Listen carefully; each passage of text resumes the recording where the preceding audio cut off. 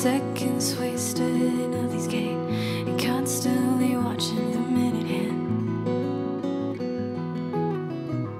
Timing is everything. Once it's over, it's over. Take a breather and try again. Don't hurt yourself, trying